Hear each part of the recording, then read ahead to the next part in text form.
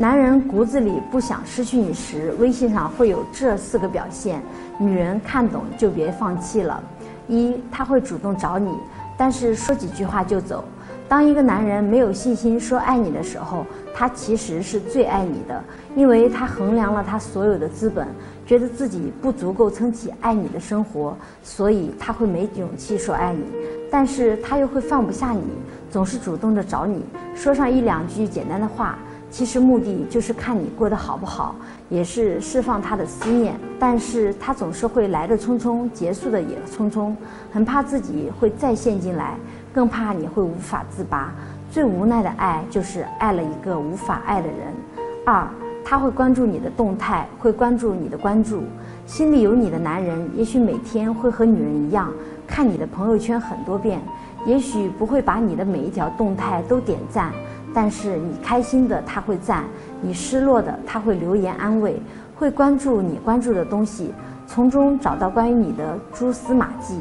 一个人放不下一人的样子，也许就是每天想你千百遍，却不敢和你说一遍。如果有这样的人，那么女人，你愿意就给他一点追你的暗示吧。三，他偶尔会开玩笑说爱你，但是从来不逼问你爱不爱他。爱一个人，谁不想能和他在一起呢？男人也一样，他们真爱一个人的时候，心里也会计划着以后两个人在一起的样子。但是当有阻碍的时候，他们不想为难女人，更不想女人因为爱他而失去很好的生活，所以他们会偶尔的透出自己的爱，表示自己的爱，但是从来不会因此而要求女人，或者逼迫女人说出来以后怎么样，或者爱不爱他。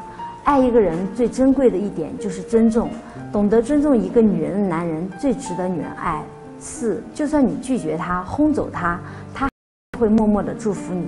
有些时候，女人会很敏感的，所以对一个迟迟不敢和自己表白，又经常撩自己的男人，会怨恨和纠结。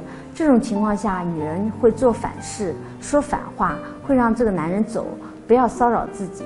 其实他是想跟你说，爱我就和我说，不爱我就不要折磨我，还是想催生这个男人表露他的心智。这个时候不够爱你的男人，不了解你的会走；真心爱你的男人会默默的不说话，但是他不会走，他依然会祝福你，和你说话，关心你的喜怒哀乐和生活状态。